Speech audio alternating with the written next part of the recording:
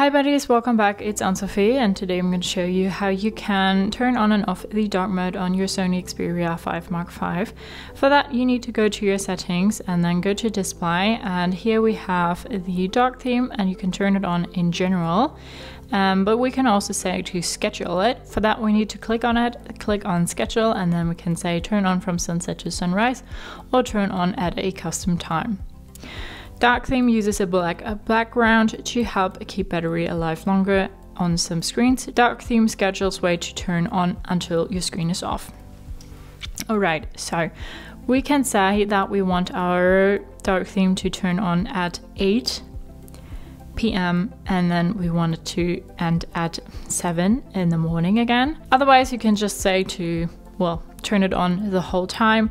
It saves you some battery, it gives you a chic appearance, and it's also nice for your eyes if you're like under low light conditions. So that's how you can turn on and off the dark mode on your Sony Xperia 5 Mark V. Hope you liked it, hope it helped. If so, thumbs up, share, and subscribe, and I hope to see you next time.